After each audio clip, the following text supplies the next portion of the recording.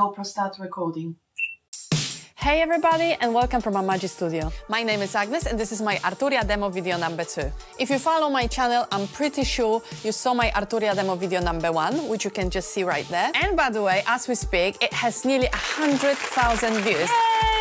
So thank you so much for all your support and the comments and to all my subscribers. This wouldn't be possible without you. That was completely unexpected. Seems like you absolutely loved it. And this is exactly the reason for my Arturia demo video number two.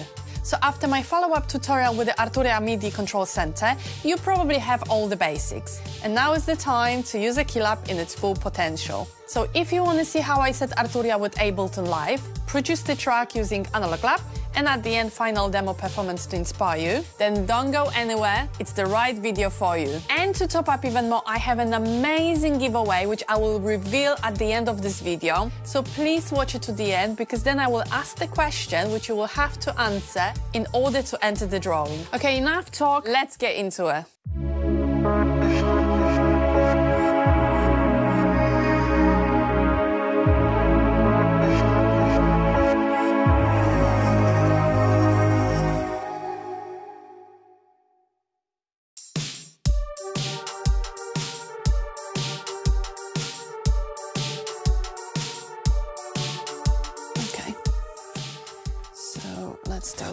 Ideas. Let me open my Ableton. Quick recap, you go into options, preferences. Now, if you remember my video from the quick tip, port 2 here and the 61 here. Make sure track on, remote on. So that's all sorted. Now I need to make sure that my Keylab is working. I'm living on the in. Um, this is basically turning Ableton uh, routing into so-called aux. So basically, no matter what is happening in your DAW, you can always hear um, your controller or any instrument synthesizer, etc. Because when we switch to auto, I will have to then arm recording to be able to hear, otherwise you won't be able to hear it. So yeah, that's just easier. That's just me. All I always do in the beginning, I put in my initial ideas. So I would then go through all presets from Analog Lab, literally one by one, and just play with the MIDI controller, just, just try to find some ideas. I never starting any track with something in my head already. I probably know the um, BPM, but I never know what I'm gonna come up with at the end. I plan to make this track mostly based on Analog Lab. If I'm not gonna find some sound which I'm looking for, then I will swap to another VSTs. But my main goal here is to mostly use Analog Lab uh, purely because I believe it's got so many amazing instruments, especially synths, but also drums and bass. I can find something nice here, I'm sure I will. And then we will go through synths and pads and oh, we'll see. I don't really know what we're gonna come up with. Let's start bass presets first. And I'm not kidding, literally going one by one. It takes me forever, but that's just how it is. And I guess if you want to create something unique, then you definitely need to go through all of them. It's a lot of work. Okay, so let's just go one by one. Okay, that's definitely not a bass I'm looking for. I'm looking for the bass, which will be like a sub bass, just for the low end, really.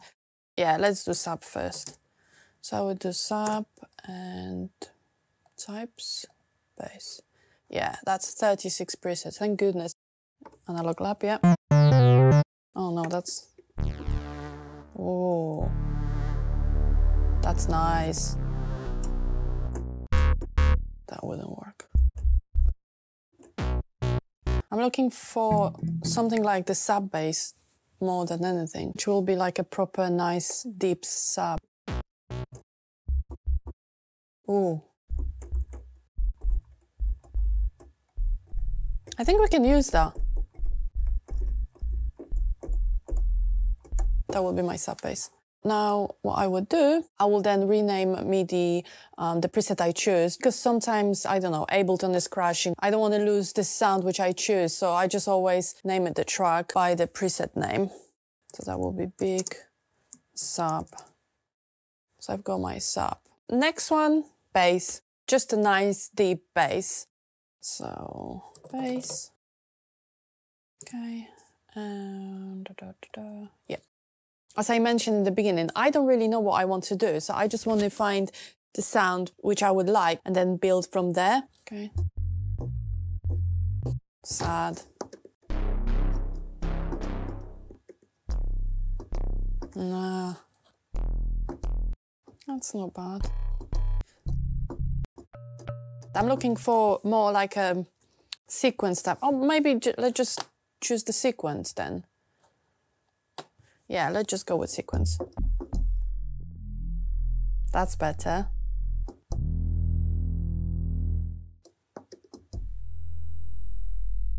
That's a nice bass. I would say that's more like a sub bass. Hmm.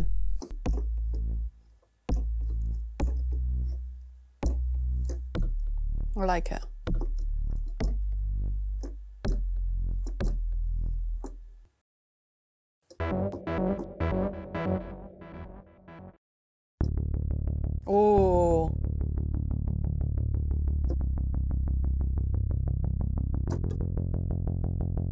That, that is exactly what I'm looking for.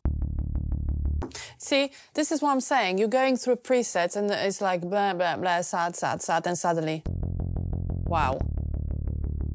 I like it. That will be 70s. Stonehouse. Okay, that's a funny name. Stonehouse bass. Okay. And how these two would sound together.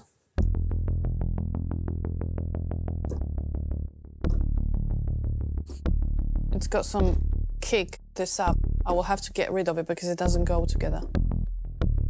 Anyway, um, fine. So I would put some more bass because this is just a sequence, but then we need a more bass sound. So let's just um, start all over again. Dark bass. Well, let's see. Jesus. That's not my style.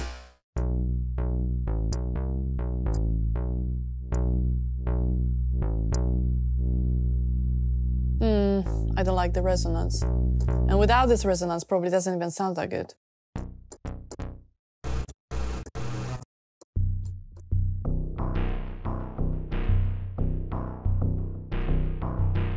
I love that. Oh, wow.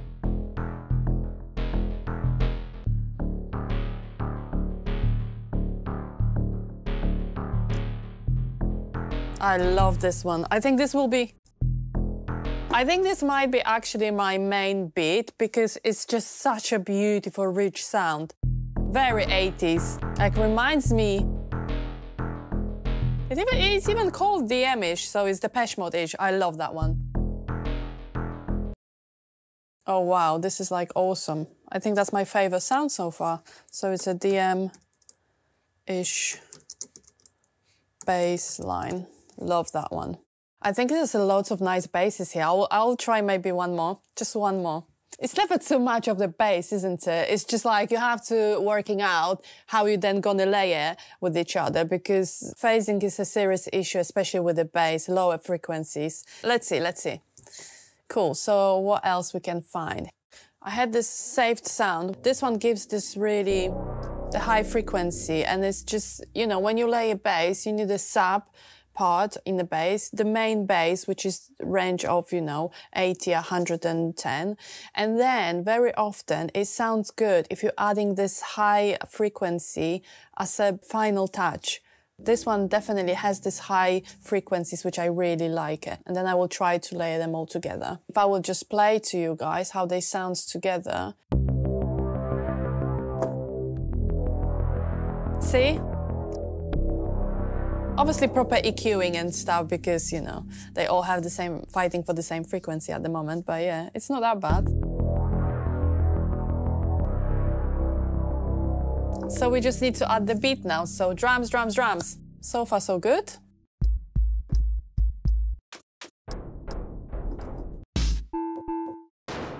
Hmm. No, I can't find anything. Maybe just sequence. No.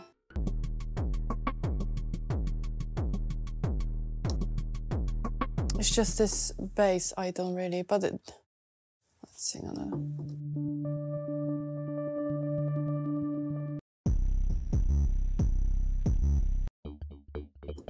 Oh, come on. Oh, we've got similar one already. Oh, again, that's very Depeche Mode, my god.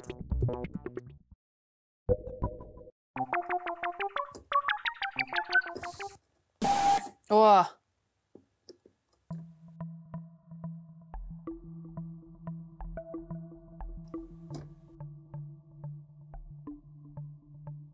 Yeah, I've got that. Yeah, we've got that. Woodblock code, okay. So maybe this is not um, percussion, but I like the sound, so why not? Wood, wood block. All right. Just put drums and hope for the best. Right. Oh.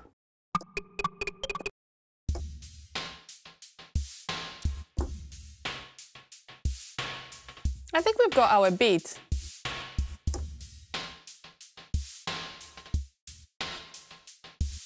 Let's see the others. It's alright, but what would I do with this? Oh wow, that's awesome. See, I told you guys, it's like Analog Lab is just insane. Every time I'm listening to this, it's like I would listen for the first time. I swear I don't recognize this one. Very 80s, I love these sounds. This one is very interesting, but what would I do with it?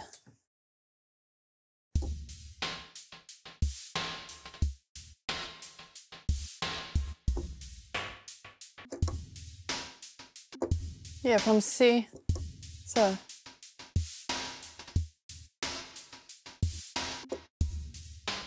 And highs? No. So we'll have to build probably on a C major. Mm, not necessary.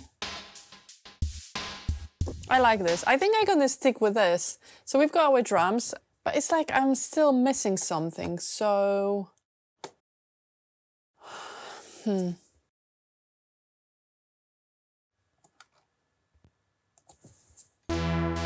Maybe some lead?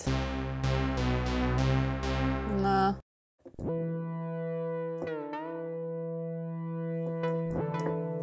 Right, I'm not gonna uh, go through all preset with you guys. Let me just try to find something myself. So I found this one, which I think together with the drums will complement each other. Let me show you with the drums. I think it's awesome together.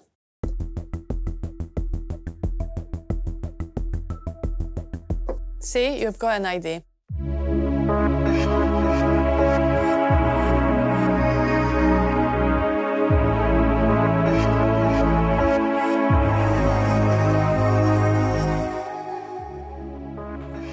Sorry guys, I need a coffee break because I already went through like a thousand of presets. So um, yeah. My mic. So when we stop, yeah, okay. So I think we're fine with drums and the time for synths. Synths always take forever for me because my music style is very much uh, rooted in the synth and very much 80s. So I'm spending fine time to find the proper synth sound. What I was trying to achieve as well is to build a track and then to find few more pads to be able to perform live because pads are long and more suitable to modulate, to add LFO, to cut off. Pads, I think, are the best for this because they are the longest notes. So let's focus on the synths first and then we will go through pads. Off, off, off. I'm just going to type. I'm not going to specify anything because synths are it could be anything, could be sequence, could be pad, could be bass. But I think to narrow down to 1,239, um, I think we're just gonna go through pads first. Nice.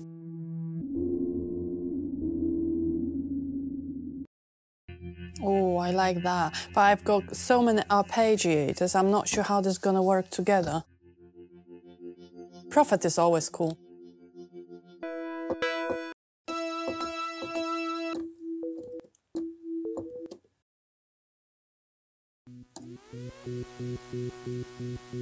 Yeah.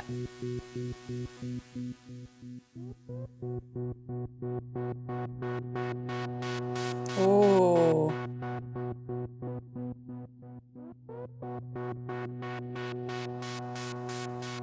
That's perfect for modulation, for cutoff and resonance.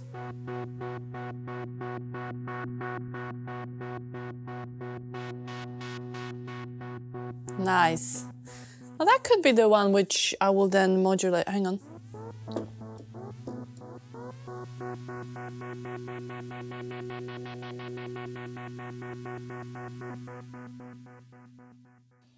You need to find the sound for um, for your purpose. If you want to use a modulator, then I would suggest pulsative um, instruments will be the best.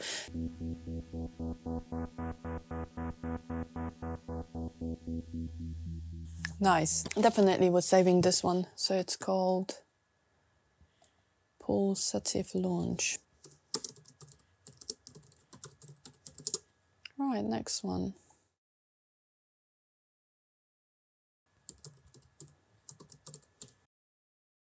Okay, now maybe some sequence. I had this, I remember it was something to do with Swan.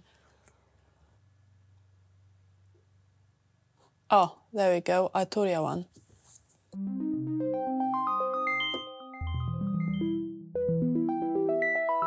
So I think I'm gonna use this one, convert it to audio, and then trying to play with the pads, or I don't know, use one of the notes from, from this whole sequence. It's like photographic Depeche Mode. Again, Depeche Mode. Oh, yes.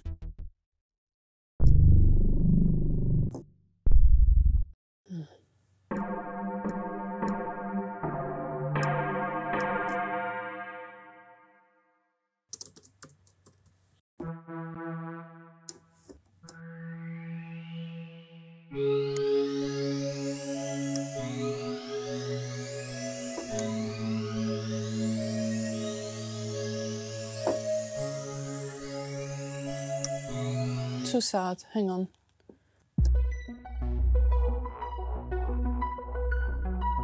Again, up. But I love this arpeggiator so much. Yeah, I will manage to do something with it.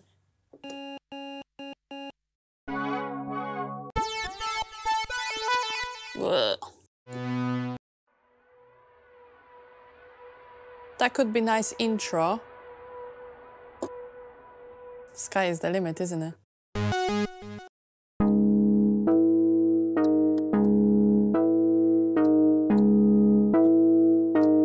Add some beat to it, and you've got beginning of the track.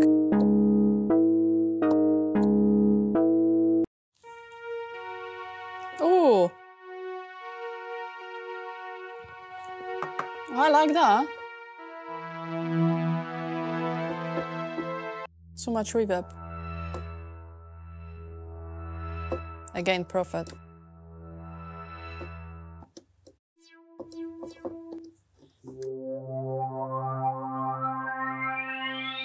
That's the one from the other side, from Arturia first demo. Oh, I recognize this one straight away.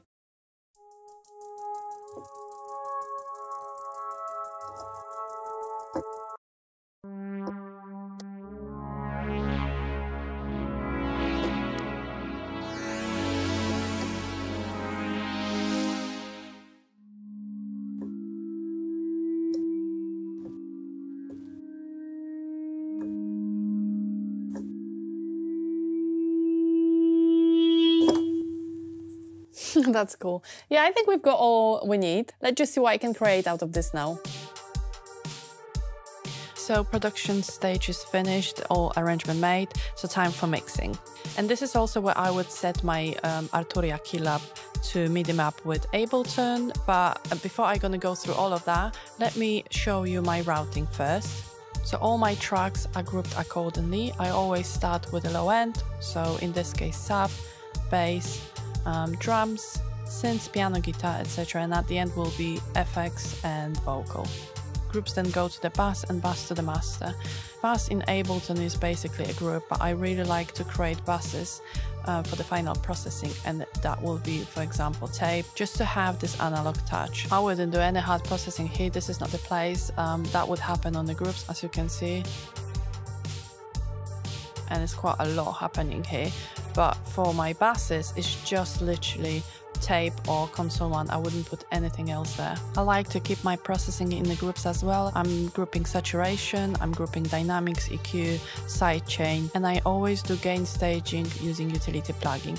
I leave unity gain at zero, so when I go to the session view, I have nice and clean zero unity gain and I don't have to worry about anything because the whole automation is happening here. And there is always loads of automation in my projects. So let's go back now to the arrangement view.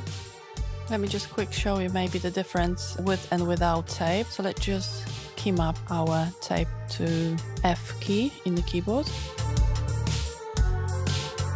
So key.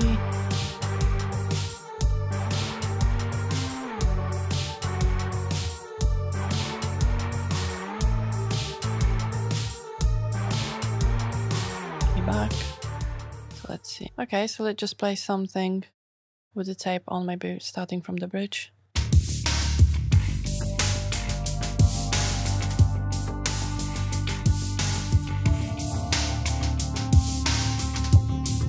The difference is really minor, I hope you can hear on YouTube. Even so I'm using 500 series analog gear on this project, I still like to add this analog tape on the final bass. And what's happening on the two bass? Ah, my Abbey Road mastering chain. I love that plugin, it's absolutely amazing.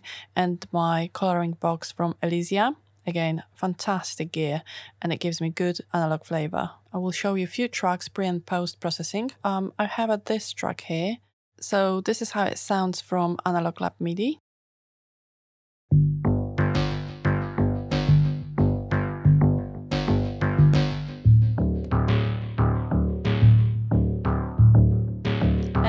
To audio with my processing.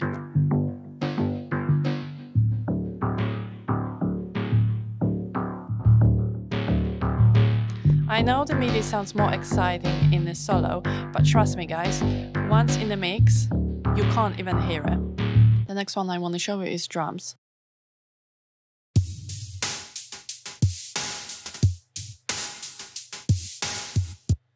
and the original MIDI.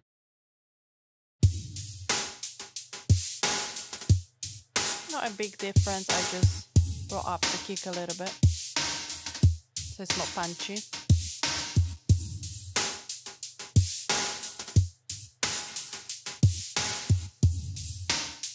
However, in the mix, it was completely lost. So I laid with another kick, which in solo sounds like this. Both.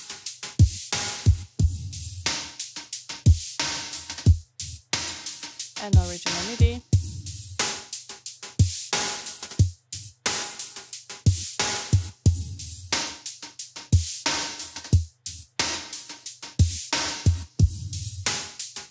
I hope you can hear the difference. And in the mix.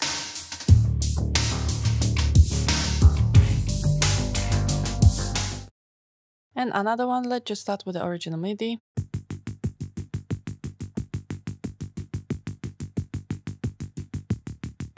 And after my processing.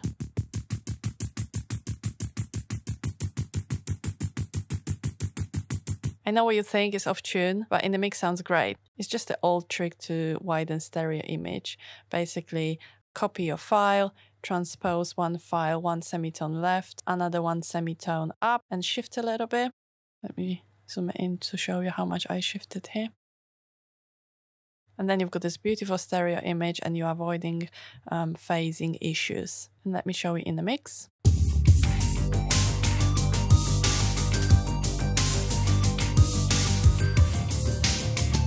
Yeah, it makes all sense and it sounds great. And the last one, maybe some synths for a change.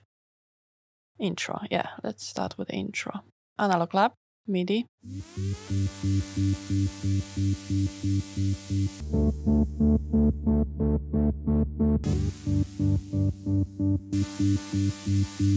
Yeah, it's pitched a little bit just to match um, other instruments, especially Substance, because Substance was tiny bit too low.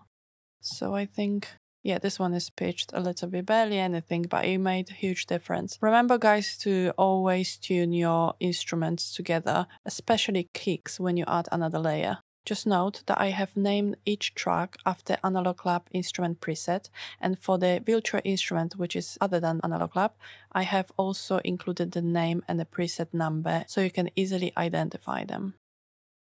In description of this video, you will find a link with Arturia Keylab demo Ableton file. File includes all audio files post-processing and the MIDI files. You can then play with the MIDI files and come up with the different sounds and compare them to my audio files. But now the fun part, let MIDI map Ableton Live with Arturia Keylab Essential.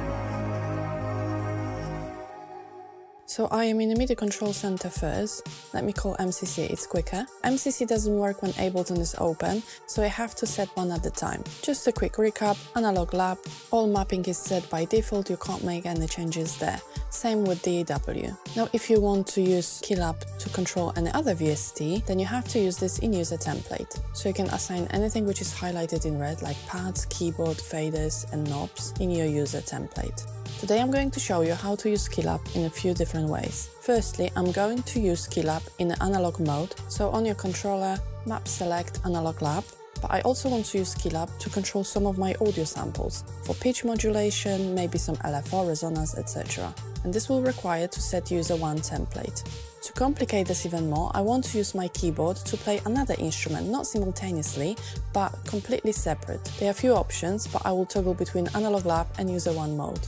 Analog Lab keyboard is set by default on channel 1, so I will have to set my keyboard in user 1 template on channel 2. I will also set these two pads for another instrument to play different notes. So let's start with the pads. To play different notes on the pads, we're leaving MIDI note, gate and channel 3.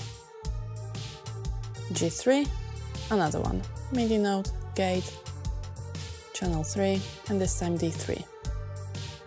Last to set will be keyboard, channel 2 and all set. Now store 2, save it,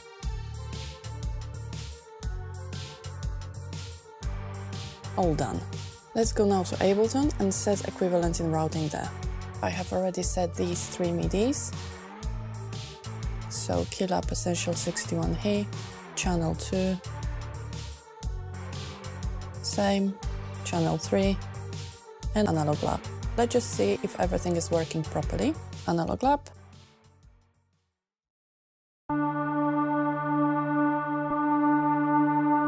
Now let's swap to user one.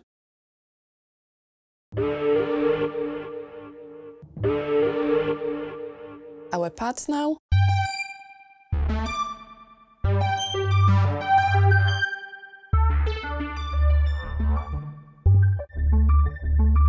Our user one is set correctly, so let's go to audio samples for mapping now. So what I have done here, I have created FX rack with some sloppy delay. I have set attack fader to switch on and off rack. And I have also assigned cut off knob to my macro one. So when I'm turning, it works together. And obviously all the parameters inside the VST I have mapped to macro one. So let me show you how I've done and then I will explain you the reason behind it. So MIDI map. First, let's assign our device on and off to attack fader. Let me unmap it. Now let's assign macro 1 to cut off knob.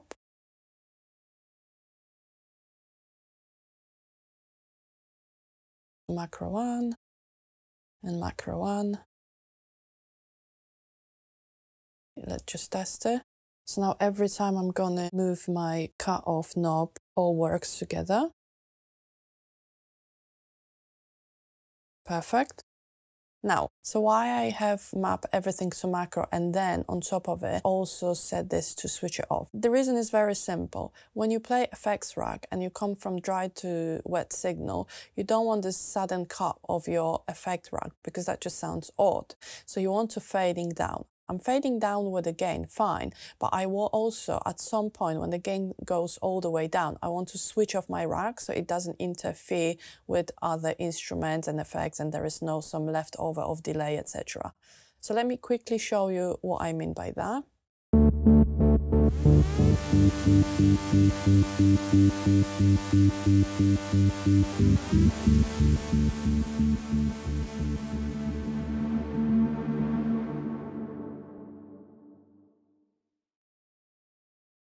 There is no sudden cut off and it just sounds nice and blended. Okay, so let's go to another one. These are all analog lab MIDIs converted to audio samples. I'm going to assign heat dry wet signal to my decay fader this time. So again, MIDI, dry wet, click on the decay, job done, MIDI back. Let me show you how I'm going to use this in the track.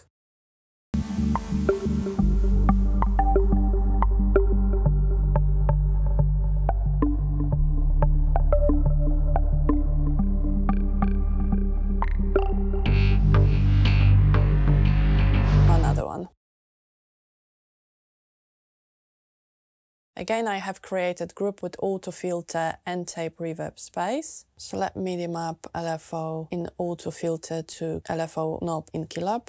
MIDI, click on LFO, then move LFO knob in Keylab, all assigned. MIDI back.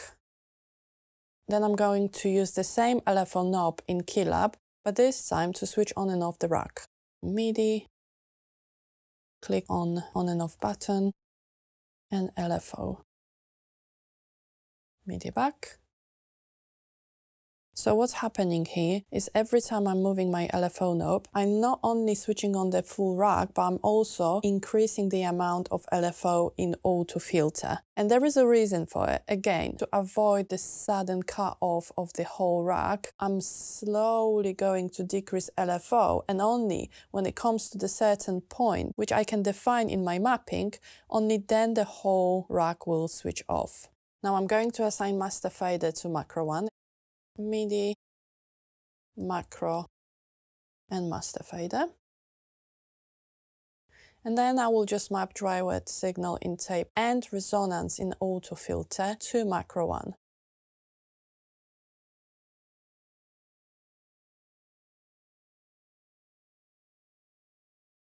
Yeah, so every time I'm moving my master fader in Keylab down, I'm gradually decreasing the amount of my FX rack. Again, I have a nice fade to the point that when I'm happy, I can easily switch it off.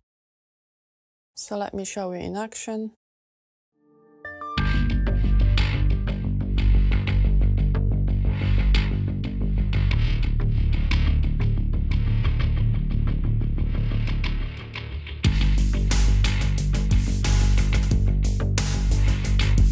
guys assign all of this obviously in the simplest way, but I found this set suits my performance. Just experiment with it, it's so much fun.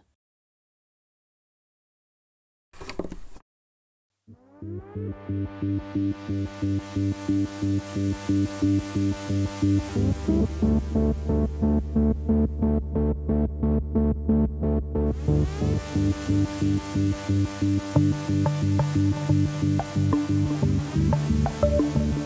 you.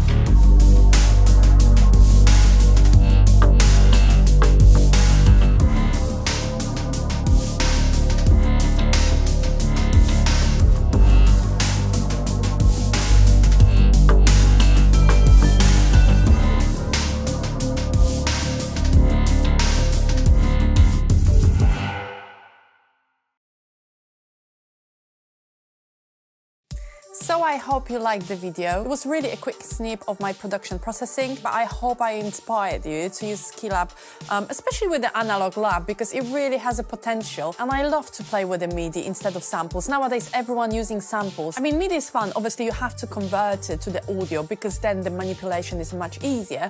But just to create some ideas, you should definitely start to use MIDI more. All right, so now I hope you're gonna create some awesome tracks and you're gonna share with me in your comments. Please leave a comments below. The community on this channel is amazing, so please share your thoughts and your projects and how you manage to use Yoki Labs. And if you want to support Agnes a little bit more, then please follow me on social media. I will leave the links below. You can also find them on AMAGI website. Every subscriber, follower, and every comment really motivates me to do more content like this. Because otherwise, what's the point? And about the point, let's go to the point because it's giveaway time. Okay. Ta-da! Yes, so today I'm giving away my Audient ID 14 audio interface. And this is exactly the same audio interface which I've used when I recorded the first Arturia demo video, which was so successful. In 2019, I've released Arturia demo video, recorded in my bedroom out of spontaneous moment. I think I just bought my Keylab at that time and I really wanted to share with people. I had completely no idea how to record video. And geez, nearly hundred thousand views. You guys absolutely loved this video. I didn't expect it at all.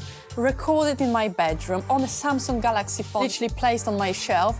It was so spontaneous, but looks like you guys really like this content. As you can see, loads changed since then. I've built my dedicated studio, AMAGI Studio. And by the way, if you want to see how we were building the studio during lockdown, then I will leave the link below. Three parts video, how we came from nothing to this. I then released few tracks, which you can see on the streaming platforms.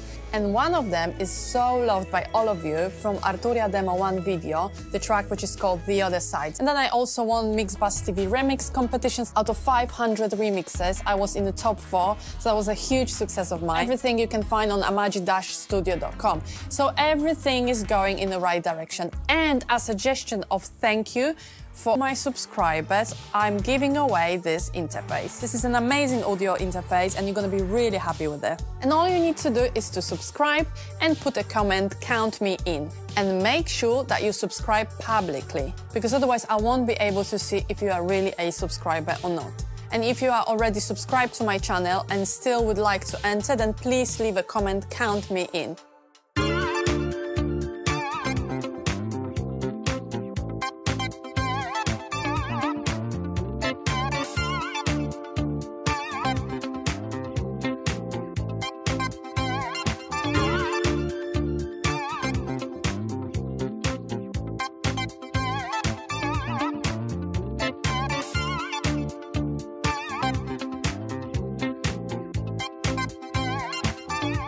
It's that simple. Subscribe and leave a comment, count me in. So don't miss out your giveaway, subscribe, like it, bell, follow me on social media. See the next time.